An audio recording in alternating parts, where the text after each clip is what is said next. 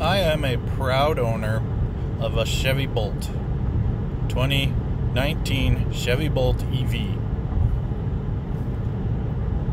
I paid a lot for it. It wasn't a cheap car, but it doesn't use gas. And at the time, I had a very long commute, so I figured it would pay for itself pretty quick. It was very important to me when I picked up the car that it have the lane keep assist functionality. And of course, the high speed charging. When I was test driving it, I tried out the lane keep assist and it was. I was very impressed at first, but then I realized it kind of sucked. Because it crosses the lines as it bounces you back and forth. It's pretty terrible.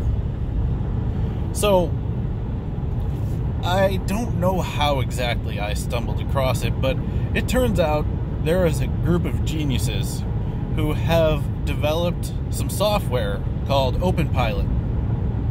Sort of like Tesla's autopilot, except OpenPilot allows cars to drive themselves without having to buy a Tesla and without having to pay $8,000 for the option. Holy cow, that sounds great. So, what they do is they sell you a dash cam. Looks a little something like this.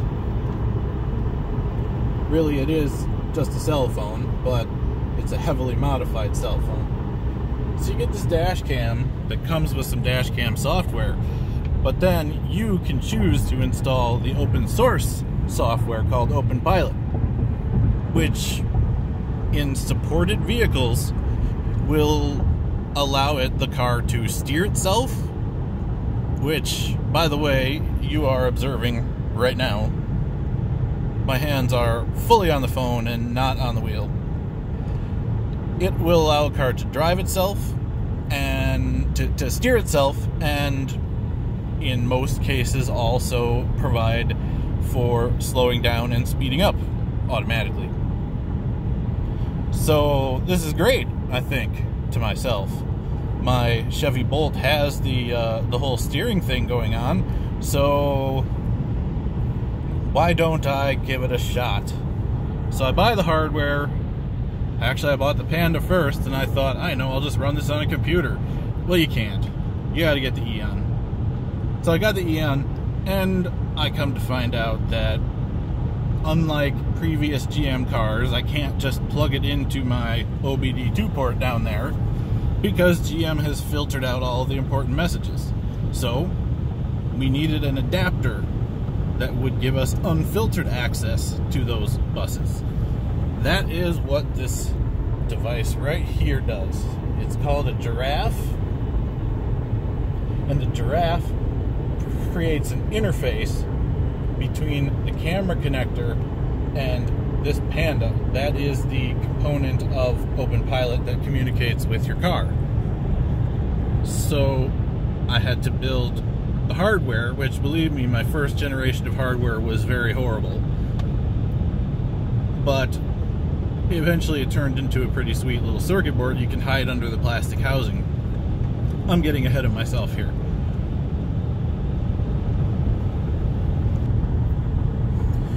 Really, we are tapping into the efforts that were made to port the Chevy Volt. Um, the Chevy Volt, up until very recently, you had to plug into the OBD2 connector, you had to unplug the camera, and you had to unplug this safety box in the back. And so it disabled some safety features, but you gained quite a bit by having OpenPilot. It's a, it was a trade-off well, I added the car. I did all the necessary things to port, is what they call it, the Chevy Bolt for Open Pilot. And the excitement that I felt the first time that I saw the steering wheel move itself was unbelievable. I mean, I got the tingles, I got super excited. I might have even done a little dance. I will never let you see me do that dance, and I, I won't admit it if anybody saw it, but Anyway, so problem was if you hit the brakes, it would fault, and then you have to stop your car and wait for three minutes. Uh, randomly, it would fault. When you engage, sometimes it would fault. So, turns out the Bolt steering column. I don't know. Down here take a look at that steering column. The Bolt steering column is incredibly picky about the timing of those lane keep assist messages and about the counters in those lane keep assist messages. So we fixed that. And we now have Chevy Bolts that are able to steer themselves reliably using Open Pilot. It's fantastic. I mean, I've been sitting here for according to my according to my camera, 5 minutes. I haven't had to touch a steering wheel. Continue straight onto I-196 East. I might not even have to touch it uh, as it takes this exit here because the exit is on the right. So anyway, we have reached the point where we have a reliable Straight onto I-196 giraffe. That is the adapter. Uh, we have software that runs on the giraffe and the Eon modifications that are relatively stable. Um, there's some room for improvement, of course, and that's because this is a work in progress. But we've got it. Um, the the final chink, the final piece of, of the puzzle is to make it so that the car can adjust its own speed. We have two avenues we can take to accomplish that. Well, one and a half. This car has automatic emergency braking. We can use those commands to apply the brakes. So, in theory, open pilot, when it sees that you're getting too close to the car in front of you, could apply the brakes.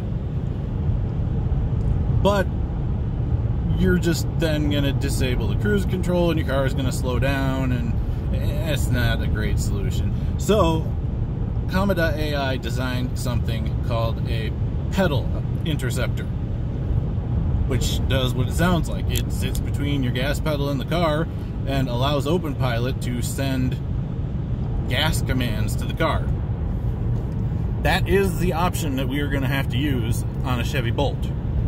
Because Chevy Bolt has the uh, the single pedal mode, that is actually all we're going to need for the majority of uh, the majority of stop and go traffic. And it can do it. The single pedal mode, when you let up on the pedal, the car comes to a complete stop and holds itself there. That's the important part. And then Open Pilot is able to apply gas to heavy takeoff. Stop and go traffic is something that didn't necessarily even work right on the Volt. So it's kind of cool that the Bolt is going to have some nicer features than than the Volt had. I think that's pretty cool. Anyway, this is all assuming that we can get the pedal adapter to work. Uh, I can't promise that just yet. What I can promise you is that I am doing my level best to make it happen, as evidenced by all the wires I have attached to this pedal adapter.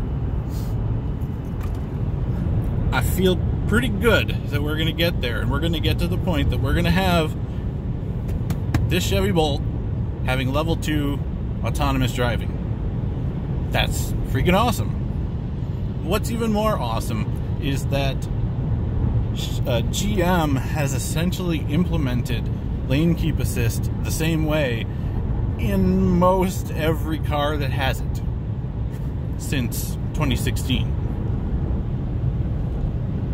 Uh, even up into the 2020s. Which means if you don't have radar, if you don't have automatic cruise control on your car, but you do have lane keep assist, this solution is probably going to work for you as well. I, we have it running on a Malibu, we have it running on an I think an Escalade and an Equinox. Um, uh, using this port, and in some cases they've needed the giraffe, in some cases they haven't. But the point is, this project is really going to open up possibilities for automated driving for a lot of cars that people would have thought not possible. And if we go even further, it might be possible that if the car had the option of lane keep assist, that you might be able to put custom firmware on the car and add automated driving. That would be pretty fantastic. GM is not going to like it, so I don't know how long that'll be possible. But so anyway, I hope this provides a pretty good summary of the project, where we stand so far, and uh, you know why we're needing some support. Um, this requires a lot of time. Um, I've had to invest in, in quite a bit of equipment that I, I did not previously have. Like I said, I'm a software guy.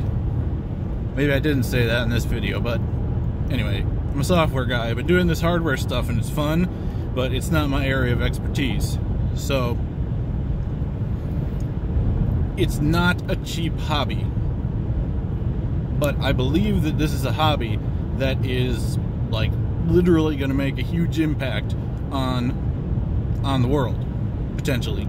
So your support is greatly appreciated. If you want to support me, hit Patreon, uh, Patreon slash Bolt Open Pilot. Um, if you're already a patron, thank you so much. You're making this possible. You're helping me pay for the electricity that is uh, driving me right now. So, anyway, thank you so much for watching. Thank you for your support, and uh, hope you subscribe. I, I've been kind of updating pretty frequently. And uh, have a great day.